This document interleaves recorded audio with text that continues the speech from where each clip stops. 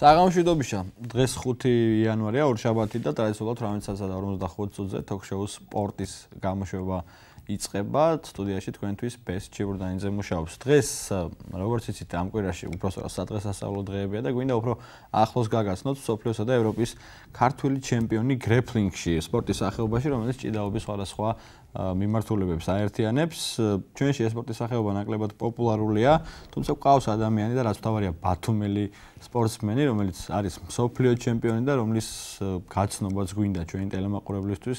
აუცილებლად მიგვაჩნია რომან დოლიძე, რომელიც საკმაოდ მაღალ საფეხურზე დგას ამ სპორტის სახეობაში, ამ მიმდინარეობაში და რომლის წარმატებებსაც აუცილებლად უნდა იცნობდეთ. რომან საღამოშვიდობისა პირველ რიგში მინდა მოგილოცო შობა ახალი წელი, დამდეგი შობა, მინდა გისურვო წარმატებები.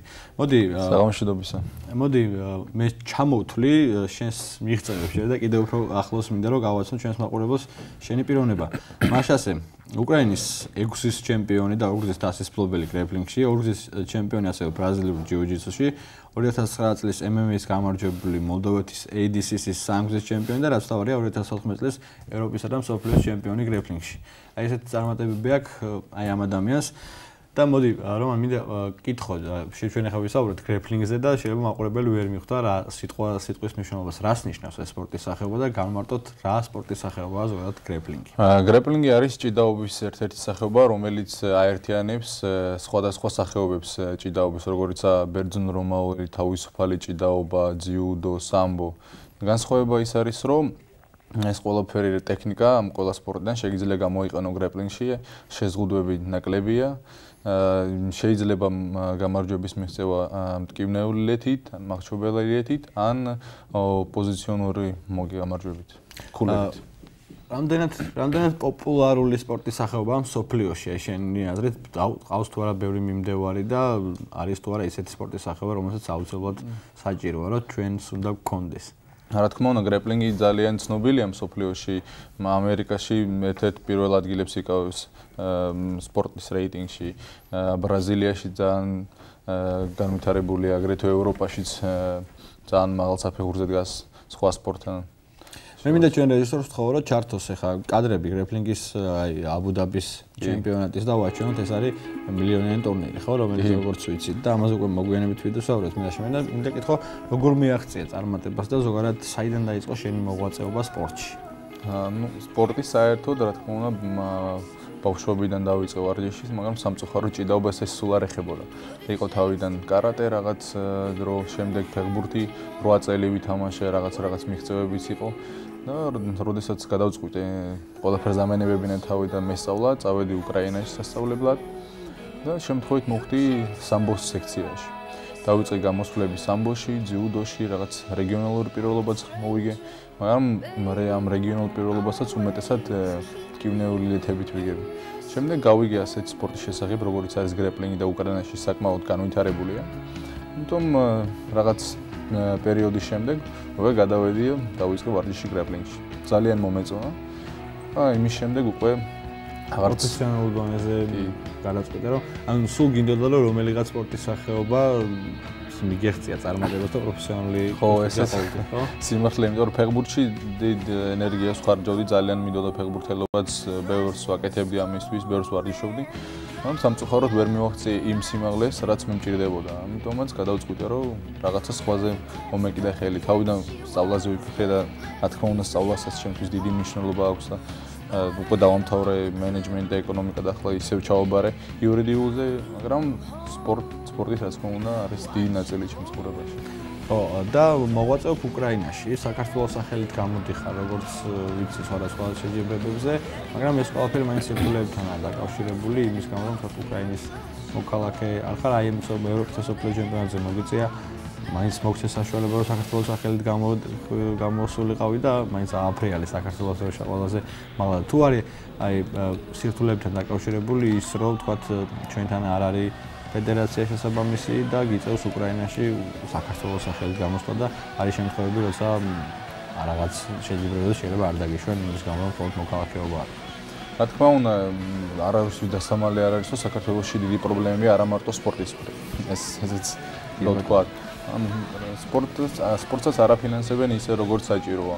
ამიტომაც ვცდილობ ჩვენი ძალები, ჩვენი რესურსებით მოვახდინოთ რამე წინსვლა და მე ჩემი ქართველობა იმით არ გამოიხატება რომ მაფინანსებს სახელმწიფო თუ არა. მე ქართველი ვარ იმიტომ რომ აქ დავიბადე და გავიზარდე თუმ თუ სახელმწიფომ ვერ დამამფინანსა ეს არ ნიშნავს იმას რომ მე უნდა უკრაინის სახელით გამოვიდე ან რაღაც. სადაც რაც მე მინდა რაც მე მიყვარს იმ ქვეყნის სახელით გამოვიდე ამიტომ საქართველოს საქართველოს სახელით გამოვიდე მაგრამ უნდა ვთქვათ რომ დაფინანსება ფაქტიურად არანაირი არ არის.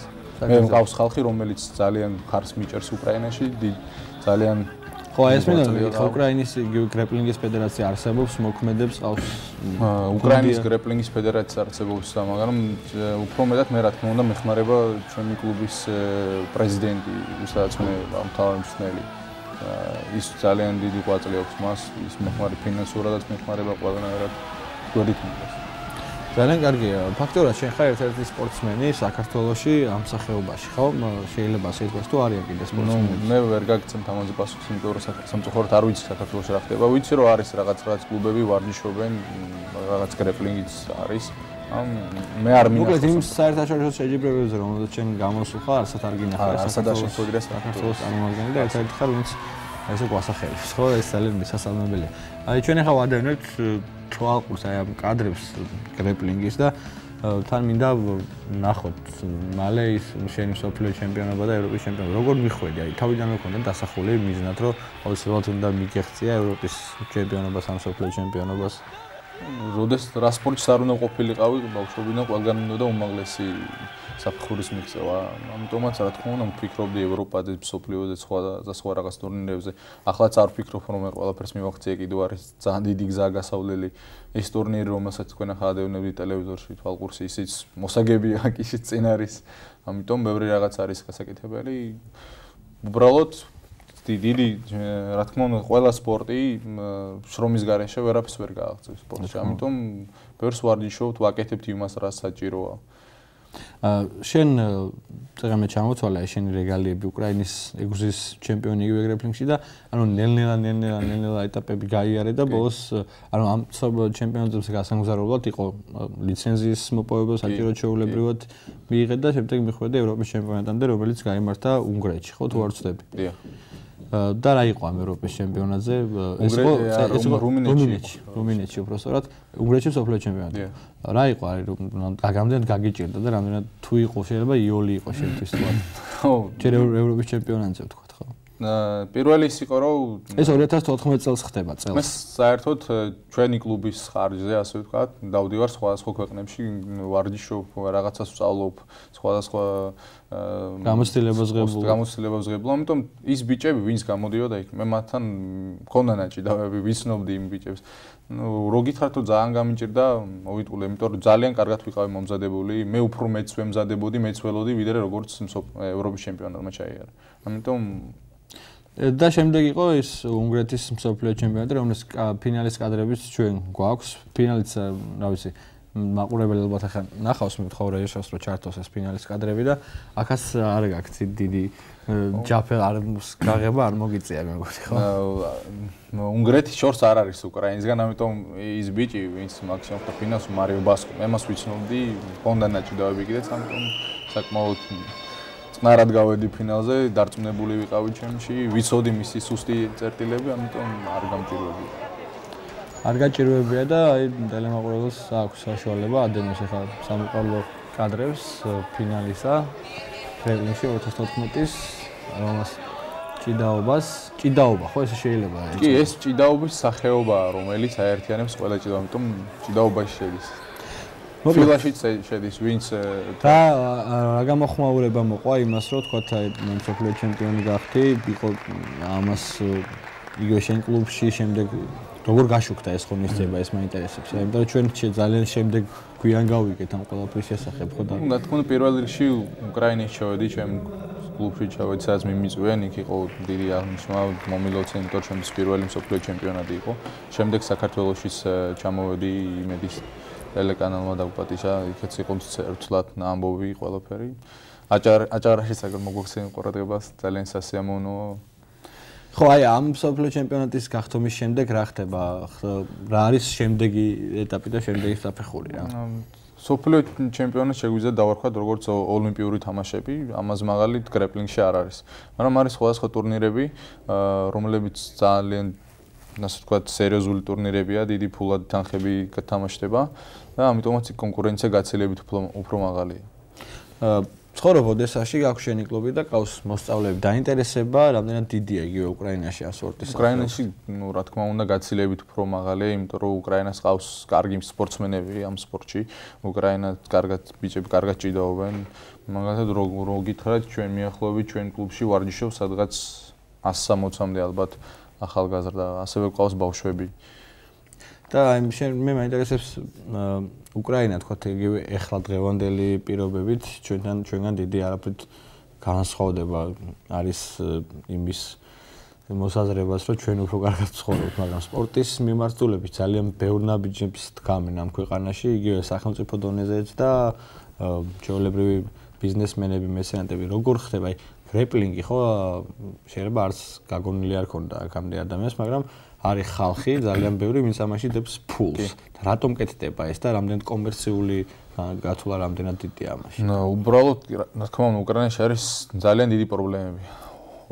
ომი ადგა თავს ძალიან სხვა სხვა რაღაც პრობლემები რომელსაც საქართველოსში არც აშუქებენ მაგრამ ის უნდა ითქვას, რომ სახელმწიფო წეხმარება იმ დონეზე არ ეხმარება როგორც საჭიროა და როგორც საკმარის იქნებოდა. ანუ არის ხალხი, რომლებიც არ ზოგავენ არც ფულს, არც თავის დროს გვერდში უდგას კლუბს და კომერციული ის არის, რომ ბევრი ხალხი ვარჯიშობს.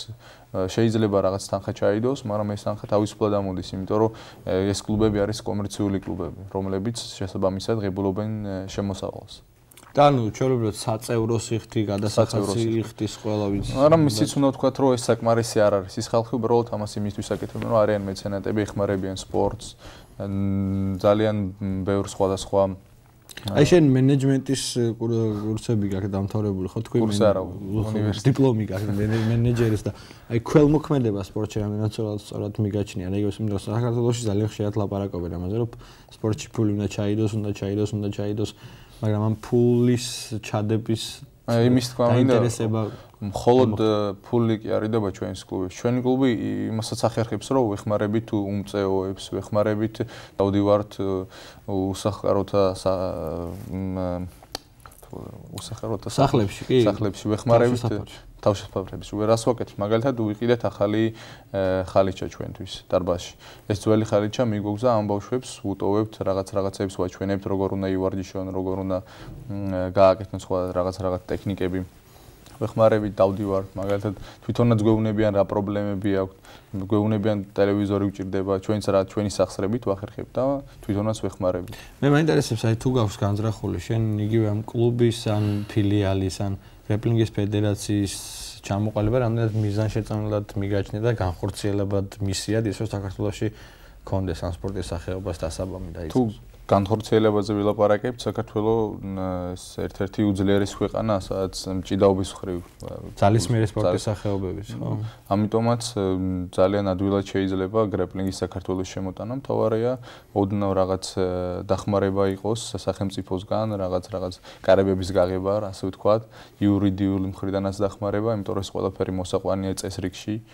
ჩამოსაყალიბებელია ფედერაცია ასაკეთებელია 1000 სხვა დოკუმენტაცია, რომელიც საერთოდ გრეპლინგზე საქართველოში არ არსებობს, მაგრამ ეს ყველაფერი ადვილად მოხერხდება და ადვილად განსახორციელებელია, იმიტომ რომ ჩვენ უკვე გვაქვს ამის გამოცდილება უკრაინაში, რაღაც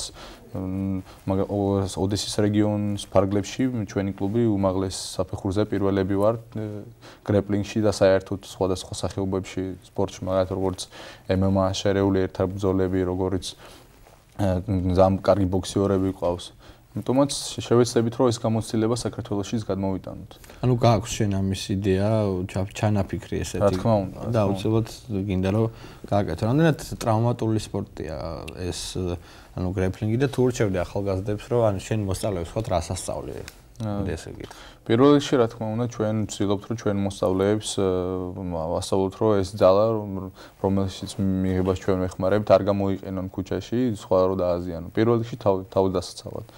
ჩემო სწავლეს პირველ რიგში რა თქმა უნდა კიდევ ვასწავლით რომ როგორ არის მეგობრობა, რა არის ოჯახი, რო ჩვენი დარბაში ვინ შემოდის ეს ჩვენი ოჯახის წევრია, რო ყველა ჩვენ ერთი გუნდი ვართ, რო ერთმანეთს უნდა ვეხმარებოდით და გვერდით ვედგეთ. ასევე არა მარტო ჩვენ მივდივარ და ჩვენ სახელს ასე თქვა რომან დოლიძემ დაეხმარა ბავშვებს ან როდესაც მიუმწეოთა სახლებში როდესაც მივდივარ. მიყავს ჩვენი მოსწავლეები ისინიც რაღაცას აჩვენებენ. ანუ ცხოვრების სწავლა უფრო გამოდის ვიდრე მარტო სპორტის ხო ესე შეიძლება? სპორტი ცხოვრება იმიტომ რომ ჩვენ გვაქვს ასეთი ხედვა რომ ეს არის არა მხოლოდ სპორტი. ეს არის ერთი ოჯახი ერთი სპორტული ოჯახი და ყველანი უნდა ვიდგეთ ერთად რაც უფრო მეტნი ვართ რაც უფრო მჭიდროდ გავართეთად, მით უფრო ძლიერები ვართ. ხო, აი მე მგონი ის რომ ფედერაციის ჩამოყალიბება ძალიან კარგია, მაგრამ ჩვენთან ძალიან იგივე ჩვენს რეალობაში ძალიან ცოტა ესეთი კლუბები რა მე თქვა ჩვენს რეგიონში არც საერთოდ არც მინახია რომ კლუბი ყოფილიყოს იგივე საბრძოლო ან სადაც ყველა სპორტის სახეობა გაერთიანდებოდა და გაგზავნოდნენ იგივე შეჯიბრებებზე და ამაში ფული ჩაიდებოდა რა. როგორ მიგაჩნია შენ? კლუბი უფრო მიზანშეწონილია და უფრო ეფექტურად მუშაობს ამ შემთხვევაში თუ იგივე თქვა ფედერაცია. მაგალითად, ოდესას ჩვენ მუშაობთ ცოტა სხვა სქემა გვაქვს. ანუ ფედერაციის და კლუბის ურთიერთობაზე მიდაგეთ. თავიდან ფედერაცია კლუბის გარეშე არ არ შეიძლება რომ ფუნქციონირებდეს, იმიტომ რომ ვიღაცა უნდა იყოს სპორტსმენები, რომლებიც და კლუბები, რომლებიც მიიღებენ სხვადასხვა შეჯიბრებებზე მონაწილეობას. ესე იგი ერთმანეთს ავსებენ ავსებენ ესენი ფედერაციას ავსებს კლუბი კლუბს ავსებს ფედერაცია იმიტომ რომ კლუბი რო იყოს მხოლოდ არ იქნებოდა შეჯიბრებები რომლებზეც შეიძლება და გამოსულიყავი მხოლოდ ფედერაცია რო იყოს არ არ იქნებოდა სპორტსმენები რომლებიც ამ ფედერაციაში იქნებოდა ხო მაგრამ ჩვენთან უბრალოდ რეალობა ის არის რომ ფედერაციას ექვემდებარებიან სპორტსმენები და რაღაც ისეთი კლუბები ნუ სამწუხაროდ რეალობა ის არის რომ ეს სპორტი ყველა ასე ვთქვათ ფინანსდება სახელმწიფოსგან საქართველოში და ეს სპორტ ტრენერები ცხოვრობენ მხოლოდ იმ ჯამაგირზე, რომელსაც ღებულობენ სახელმწიფოსგან და არა აქვს რაღაც მონდობარი სხვანაირად გაიზარდოს, რაღაც სხვა რაღაცაზე იფიქროს. ამიტომაც არ არის ეს საქართველოში. როგორ ფიქრობ, აი საქართველოში რა ჩამოყალიბდეს კლუბი, რამდენად ადვილად მოხდება იგივე მწვრთნელების გადამზადება, ამის რესურსი აქვს ჩვენს რეგიონს, მაგრამ რეგიონზე ვისაუბროთ. მწვრთნელების გადამზადება არ არის საჭირო, იმიტომ რომ თავისუფლად შეიძლება იგივე ბოქს ბოქსის ტრენერი ავიყვანოთ, მწვრთნელი ავიყვანოთ, იგივე თავისუფალი ჭიდაობის მწვრთნელი ავიყვანოთ. მაგალითად, როდესაც ჩვენ გვაქვს ბიჭები, რომლებიც პროფესიონალად გამოდიან, ამათთან რა თქმა უნდა ყავს სალკი მწვრთნელი, რომელიც ასწავლის პარტნერს ჭიდაობას, გრეპლინგს, ასე ვთქვათ, კივნეული ლეთებს ყავს მწვრთნელი თავისუფალ ჭიდაობაში, რომელიც ასწავლის როგორ იჭიდაოს, თავისუფალი ჭიდაობა. თუმცა ეს არის კომპლექსური სამუშაოა, რომელიც უნდა იყოს ასე თქვათ კლუბის პოლიტიკა ჩამოყალიბებული, როგორ უნდა განხორციელდეს ეს და ეს სამუშაოები და იმის ამიხედვით მის მუშაობა რის შედეგადაც არის მიღწევები. ძალიან კარგი. სამომავლო გეგმები აი ჩვენ წეგან ნახეთ კადრები აბუდაბის ჩემპიონატის მილიონიანი ფონდი აქვს ხო როგორც ვიცი საპრიზო და შენ აუცილებლად გინდა რომ აქ მოხდე რა არის რა ეტაპზეა ახლა ვიცი რომ ლიცენზიასთან დაკავშირებით მუშაობს რა ეტაპზე ხარ და როდი შეიძლება ვიხილოთ უკვე რომ მილიონიანი დიდი აბუდაბის ტურნირზე საერთოდ მონაწილეობას ღებულობენ მხოლოდ ევროპის და მსოფლიოს ჩემპიონები. ი უნთ არის დაყოფილი აი ასე. არის აბუდაბის სხვადასხვა ტურნირები, ევროპის ჩემპიონატი ტარდება. საერთოდ აბრევიატურა ADCC ითარგმნება Dhabi Combat Club. ეს აბუდაბის საბრძოლო კლუბი. და ეს ეს კლუბი ატარებს სხვადასხვა რეგიონებში, მსოფლიოს სხვადასხვა წერტილებში ჩემპიონატებს. მთავარი არის ევროპის და ან კონტინენტის რომელიმე ჩემპიონატი და მხოლოდ კონტინენტის ჩემპიონს შეუძლია მიიღოს მონაწილეობა ამ აბუდაბის მსოფლიო ჩემპიონატში.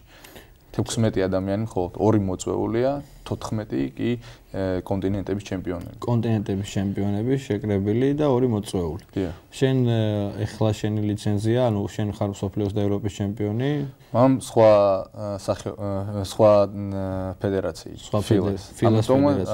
მე ახლა მაქვს ლიცენზია მიღებული იმაზე რომ გამოვიდე ევროპის ჩემპიონატზე და გამარჯვების შემდეგ მივიღებ მონაწილეობას. ევროპის ჩემპიონატი სადაც ჩატარდება ახლა? ევროპის ჩემპიონატი ზუსტად არ არის, მაგრამ ცნობილი არ არის ერთად. არ ცნობილი კალენდარი არ არის, ჯერ, იმიტომ რომ ორ წელში ერთხელ ტარდება შეჯიბრებები, მაგრამ დიდი ალბათობით ალბათ საფრანგეთში ჩატარება. დიდი ალბათობით საფრანგეთში ჩატარდება, დიდი ალბათობით ახლო მომავალში ძალიან. ახლო მომავალში, იმიტომ რომ ეს ბოლო წელია, ამიტომაც უნდა იყოს. ბოლო წელი რა ლიცენზიის მისაღებად. ლიცენზიის მისაღებად რამდენი წელი შეგიძლია რომ გამოხვიდე თქვა იქ ამ ნუ ეს დამოკიდებულია რა თქმა უნდა პირველ რიგში შენს დიახ როგორ გძნობ თავს რამდენი ან შრომა დიდია საჭირო და ძალა თქვა მე აი ჩვენ კადრები რაც ვნახეთ იქ არ იყო ისე თქვა ევროპის ჩემპიონატი და სოფლიო ჩემპიონატისგან განსხვავებული იქნება ძალა ძალიან ხო ალბათ ძალიან დიდი კონკურენცია იმიტომ რომ გამოდიან ძალიან ძლიერი ბრაზილიელები რომლებსაც აქვს ძალიან დიდი გამოცდილება და ამ შეუძლებელი არაფერი მთავარია მომზადება. შრომა. ამიტომაც ეს მის შემიღწევა ყველაფერი შეიძლება რა მთავარია რომ თავის თავის ჯერა იყოს. აი მე წერა მინდა რომ მეკითხა შენ კლუბზე საუბრობ და საშუალო თქვათ მე ვიცნობ ჩვენი რეგიონის წვრთნელებს იგივე ჭიდაობის ხელფასის აი ანაზღაურება ჯამაგერი ახსენე წერან და რამდენი აქვს თქვათ ჩვეულებრივ ნორმალურ მაგალითად მე ახლა მართავ ამ კლუბის პოლიტიკას ჩვეულებრივ თმელებს შენთან თქვა შენი ხელფასი ჩვენ ცოტა სხვანაირად უყურებთ ამ საქმეს. მაგალითად მე უყურებ პირველ რიგში რა მიღწევები აქვს ადამიანს ვისაც უნდა მცნობა. რა თქმა უნდა პრიორიტეტს ვაძლევთ დამწყებ სპორტსმენებს. იმიტომ რომ დამწყებ უბრალოდ სპორტსმენებმა რომელებმაც მიაღწიენ რაღაც თავის კარიერაში და უნდა სამწუნელო კარიერის დაწყება რა თქმა უნდა იმას ვაძლევთ პრიორიტეტებს რომ ჩვენ თვითონ ახალგაზრდა ვარ ცოტა სხვანაირი მიდგომაა ეს ცეცხლი თვალებში, ეს მონდომება, ამიტომაც პირველი თავიდან, რა თქმა უნდა, ვაძლევთ ხელფას. მიახლოებით დოლარებში თუ გადავიყვანთ, სადაც 300 დოლარს, 300 დოლარიდან იწყება ეს ყველაფერი. შემდეგ უყურებთ როგორ ავარჯიშებს, როგორ მიდის მოსონ ხალხს, არ მოსონ ხალხს. აი მის და შემდეგ შედეგები რა თქმა უნდა. შედეგები. ხალხი მოსავლების შედეგები რა თქმა უნდა. მის შემდეგ შეგვიძლია ან დაუმატოთ პროცენტი, მაგალითად როგორ რამდენი ხალხი ვარჯიშობს, თუ ვარჯიშობს 100 ადამიანი, ასე ვთქვათ, 50%-ს იმ ადამიან იმათგან ვაძლევთ მწვრთნელს და ასე. ძალიან კარგი, შენ წეგან ახსენე რომ გაქვს იდეა საქართველოს ჩამოაყალიბო იგივე ესეთი კლუბი ან ფედერაცია და თუ კონდა რაიმე თქვა უფრო მაღალ დონეზე საუბრები და თუ მოგისმენია რამე აზრი ადამიანების გამიც რაღაც კურირებს რაღაც რაღაც საუბრები ქონა სპორტის სამინისტროში თბილისში ამ რაღაც ვერ ჩამოყალიბდით.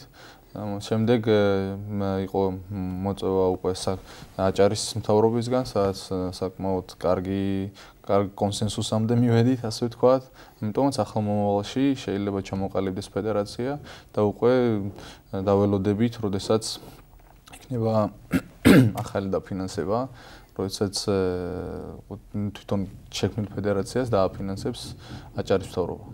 აჭარის მთავრობა რა ფინანსები რა მაინც დაახლოებით საშუალო ну საშუალო არის ფინანსებს არ ვიტყვი რა თქმა უნდა მაგრამ ასე ვთქვა დიდი ფინანსები ჭირდება შენი დიდი ფინანსები რა თქმა უნდა ჭირდება მე მე ხვდები რა რა არის საქართველოსში და რა პრობლემები არის ამიტომ რა თქმა უნდა ისეც რაღაცას არ მოვითხოვთ რაც შეუსრულებელი მოვითხოვთ ზუსტად იმას რისი გამოყოფა შეიძლება და რისი რაც არის რეალური რაც რისი რესურსი შეიძლება გქონდეს ხო და აუცილებლად დაკავდება ბევრი ადამიანი. ჩემი აზრით პირადად ჩემი მოსაზრება ის რომ ბევრი ადამიანი ვინც იგივე ჭიდაობაშია ვინც იგივე ძალის მიერ სპორტის სახეობები ჩვენი ის არის რა ქვია ნუ რამდენი ადამიანი ყავს ახლა რამდენი სპორტსმენი ყავს? მარტო აჭარაში საქართველოს აღარაფერი ვარ თქვა ვინც არის ჭიდაობით დაკავებული და ეს სპორტის სახეობა ის რასაც მოაქვს წარმატება ამდენი წლის განმავლობაში და ყველაზე მაღლა დგას ყოველთვის ჩემი აზრით აუცილებლად უნდა ჩამოყალიბდეს და უნდა გაკეთდეს ეს რა და მე